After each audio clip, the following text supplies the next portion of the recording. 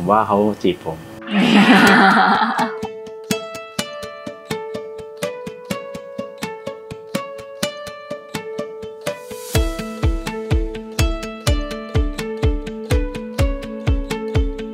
ชื่อชาลีบุญญาวินิตครับ แล้วก็เรียกกันลุงลีแถวนี้ครับผมครับ ชื่อลินรัตน์ค่ะ เรียกสั้นๆว่าลินได้ค่ะ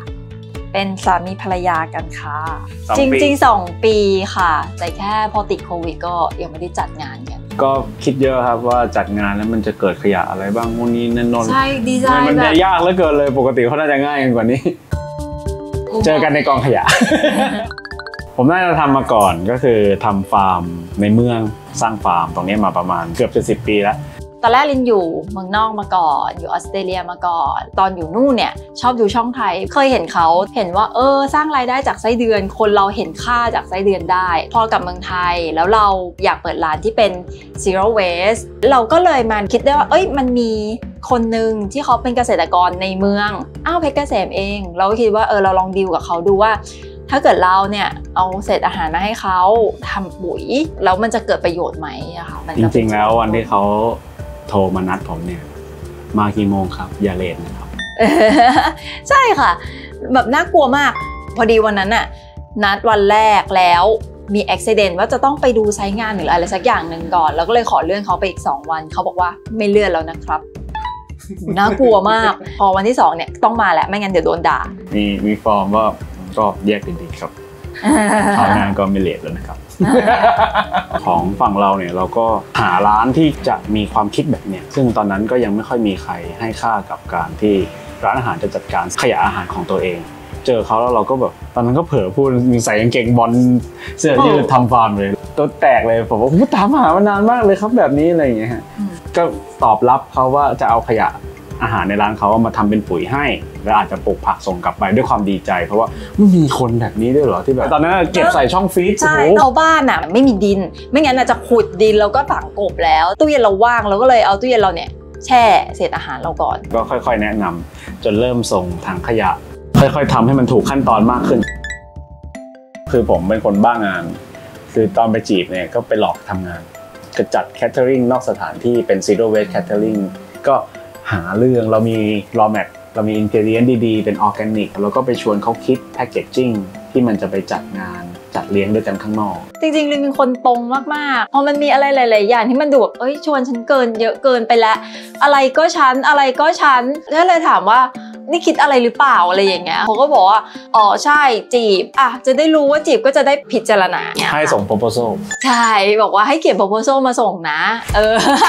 นี่ไงยูวางแผนไงว่ายูจะอ่ายูจะจีบใช่ไหมแล้วยูมีแบบจุดประสงค์อะไรจะทำอะไรระยะเวลาเท่าไหร่อะไรเงี้ยก็เขียนขอบเขตเวลาให้ใช่ว่าจะจีบเดือนนี้ถึงเดือนนี้ถ้าหมดเดือนนี้จะดิสคัตแล้วนะว่า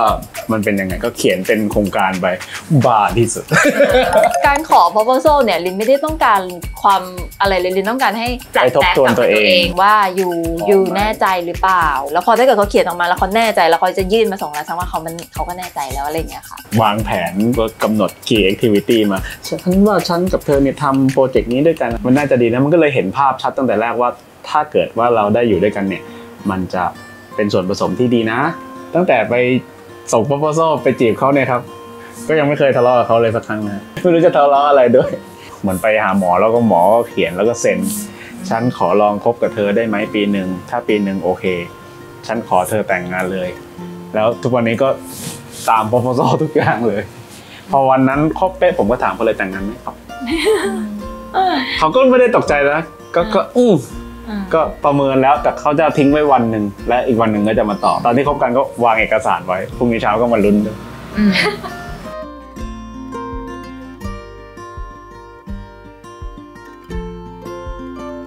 ก็คิดว่าเหมือนที่ตอนแรกที่คิดแหละค่ะว่า เออคนที่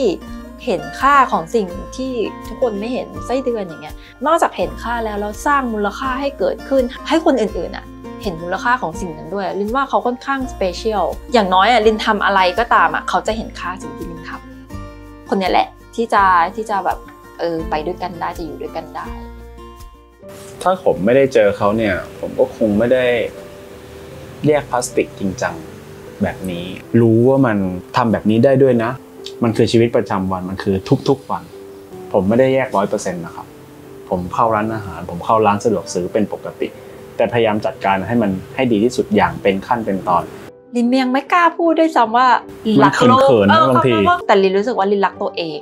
ลินรักตัวเองและลินรักคนรอบข้างลินรักตัวเองที่อยากจะมีอากาศที่ดีลินรักตัวเองที่อยากให้เขาที่เป็นภูมิแพ้ ได้มีอากาศที่ดี หรือว่าลูกลินที่จะเกิดมาหลานลินที่จะเกิดมาเนี่ยจะอยู่กับอะไร จะอยู่กับต้นไม้หรือจะอยู่กับขยะแบบวออีอะไรอย่างเงี้ยเราเลยใส่ใจสิ่งแวดล้อมต่างๆ ค่อยๆเห็นค่าของการว่าแยก แล้วมันประหยัดขึ้น แยก แล้วมันมีคุณภาพดีขึ้น สิ่งที่ยูเธอเริ่มทำคือการที่มีถังพวกเนี้ยรองรับให้คนไปทิ้งให้ถูกที่ สิ่งแต่ละสิ่งที่เกิดขึ้นมา แม้กระทั่งขวดพลาสติกที่เกิดขึ้นมาค่ะ ก่อนที่มันจะถูกทิ้งไป ถ้ามันถูกทิ้งไปเลยอะมันก็คือขยะหนึ่งชิ้น แต่ถ้าคุณเอามันมาส่งไปที่ถูกที่แยกมันแล้วส่งไปถูกที่ ขวดนี้จะกลายไปเป็นเสื้อ PPE ขวดนี้ฝานี้จะกลายไปเป็นกระถางต้นไม้ให้น้อง เพราะฉะนั้นน่ะเขาจะภูมิใจตัวเองแค่ไหนในการที่เขาเกิดมาเป็นขวดพลาสติกหนึ่งขวด แล้วเขาทำประโยชน์ต่อไปได้อีกก่อนที่เขาจะ สิ้นไปเป็นขยะจริงใจต้องเปิดก่อนว่าๆใช่รู้ว่ามันจะไปเกิดประโยชน์กับใครอืมแล้วทีเนี้ยองค์ประกอบทุกอย่างมันครบแล้วเนี่ยถังก็มีให้แล้วอืมปลายทางก็มีให้แล้ว มันใช่คือตาคุณละว่าคุณจะทำไหมกับไม่ทำอืมเท่านี้เอง